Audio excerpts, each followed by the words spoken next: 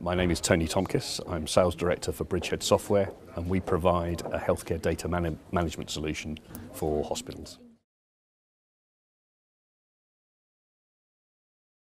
One of the biggest challenges is the vast growth in data that hospitals are having to cope with and manage effectively um, as uh, uh, devices get more and more sophisticated and they're able to take more and more pictures of us from various strange angles, then uh, the challenge of actually looking after that data effectively is, uh, is a massive challenge.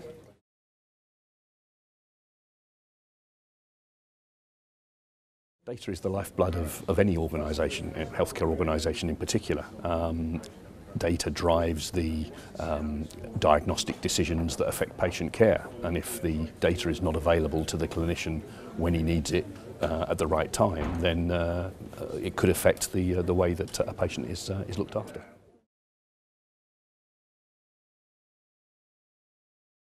Some cases they're not protecting their data. Um, the way the, the short-term view that a lot of hospitals are taking is to just throw more storage at the problem and just uh, um, sort of uh, uh, just throw more hardware at it and that's not a long-term solution. Um, the data centres in a lot of our hospitals are already at breaking point. Um, uh, it's almost impossible to expand those data centres uh, easily uh, and that's going to get worse as the quantity of data that they look after increases over time. I would argue that the solution to the problem was that they put in a, a more strategic healthcare data management solution that uh, looks after all hospital data in a single place.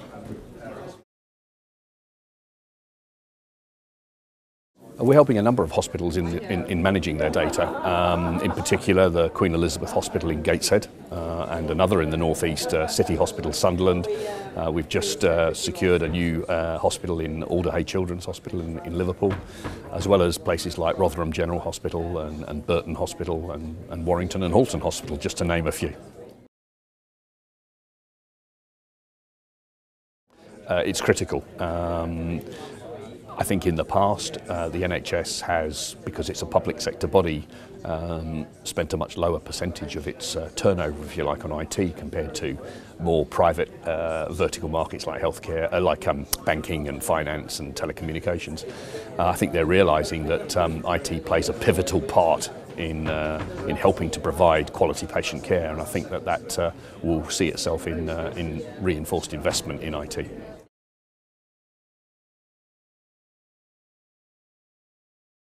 They are trying, they are, um, but they are also presenting more and more challenges for healthcare organisations. The uh, Jeremy Hunt's vision of a paperless NHS is a wonderful vision, um, but if you digitise all of the paper records that exist in hospitals, then that's going to create more and more electronic uh, uh, um, content for, uh, for IT departments to store.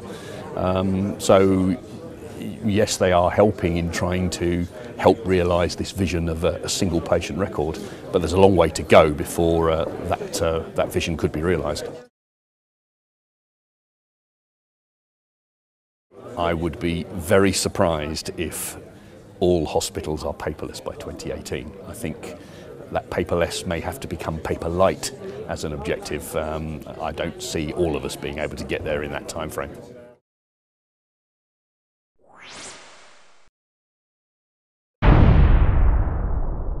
Bridgehead. Store, protect, share.